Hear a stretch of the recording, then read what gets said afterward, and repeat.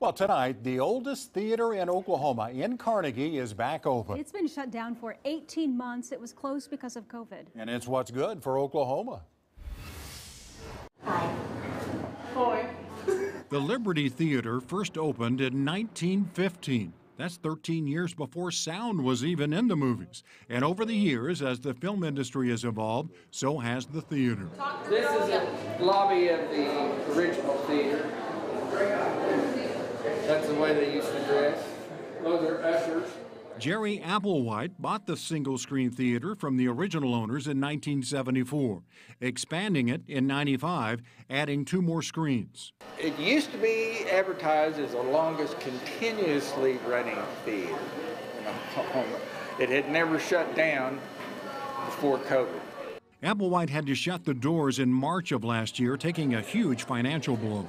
First month that I was closed down, I lost 80,000. The second month, I lost about 40,000. And from then on, it was in the 15 to 20,000 per month range.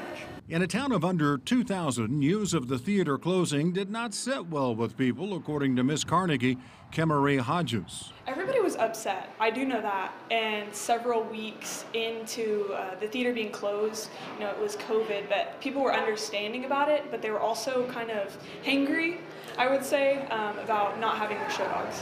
What is so special about these show dogs? The chili. Yep, secret recipe. We use only the best ingredients, uh, all beef wieners, and we steam them, and they're good. Oh, yeah. Fantastic. It didn't take long for word to get around the theater was reopening.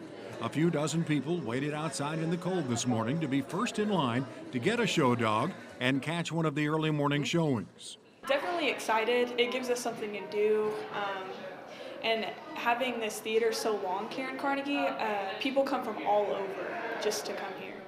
Applewhite says reopening hasn't been an easy task, costing him even more to fix things like air conditioning units that wouldn't work after being shut down for so long. But he says through it all, he's grateful for all the support from the community. People feel like this theater is theirs. They come feeling like they own the theater, so they they love it. Everybody that seems like everybody that comes thinks it's the best theater they've been to. And he says that uh, on average, weekend before the shutdown, they would sell about 2,000 of those show dogs every weekend. Those look good. I can't get past those hot dogs. Ooh, that looks I'm good. just saying.